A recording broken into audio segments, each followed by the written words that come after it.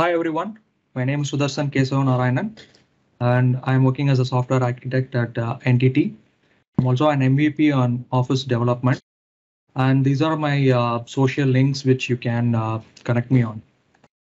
So today we are going to see about uh, command extension named change page layout.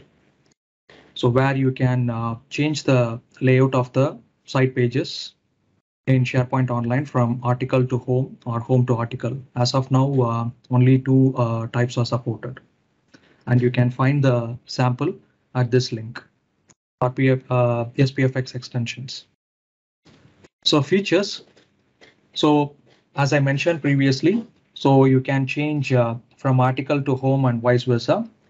And uh, you also have an option to change uh, multiple pages so it's not uh, page by page. You can choose uh, multiple pages and then you can update it. And there is also a validation where uh, you cannot update if the page is checked out by other users. And it also provides to check uh, whether the page is supported because uh, there are uh, homepage, dashboard page, and other types of news posts and news link which are not supported. supported.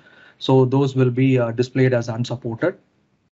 And this command is uh, the command extension will be displayed only to the site pages list, not to the document libraries or other list.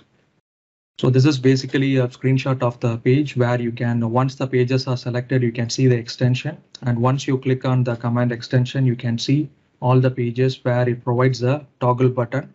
You can choose whichever page you want to change it and then click on save. So moving back to the uh, code. So let me explain the main things. So after that, we will see a demo. So the first is uh, elements.xml where uh, it is targeted to site pages. The registration ID is 119 or 850. As I mentioned, this is targeted to the site pages. So these are all the updates uh, for the element.xml and the client side uh, instance. So there are no properties uh, given here. Uh, moving back to the main methods. So this method get item info. So once the pages are selected, all the pages ID will be passing to the function where I'll be getting all these fields, the title, page layout type, and the author. So and based on this, I'll return all those information. And after getting all those information, I'll be displaying in the model dialog. And based on the selection, whether it is article or home, so I'll be updating the page layout. So this is on changing the on, on triggering the toggle. So this functions will be executed. So the update page, once you click on the save, I'll be passing the selected pages and whichever whichever the pages are modified, only those pages ID will be passed and the page layout will be updated. So it's simple, very uh, uh, simple extension. And I'm using pnp.js library. And I'm also using the batch method so that all the pages are combined and then uh, executed in a batch. So let us move on to the demo. So here I have installed the extension. So let me open a few page. So basically the main the main feature of this page is to sometimes you can see the placeholder here and you can see all the content.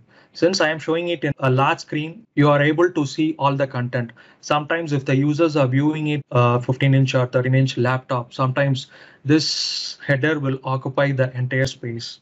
But if you want to focus on only to the content, in that case, uh, there are some articles which are available which will use Power Automate to change it.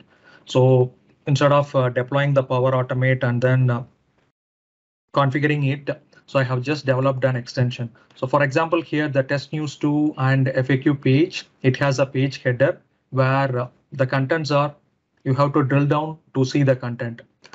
So once you select the pages, so automatically the extensions are enabled. When you click on the change layout, so it will show the pages by the author and it will also show currently whether it is an article or home. So you can choose you want the home layout and then just click save. That's it. The pages are updated. So when you refresh back, the header is gone. So you can focus on the content. So the same way, when you try to save it again, because uh, I'll be checking for the update. So I don't want to make unnecessary transaction calls to the SharePoint. So I'll be uh, checking on the update whether actually the there is an update to save or not. If there is no update, then I won't make any calls to SharePoint. Okay, so when you when you are selecting the pages, so if you can see some of the page, because I have enabled Viva connection dashboard, which is not supported, so it will show as not supported.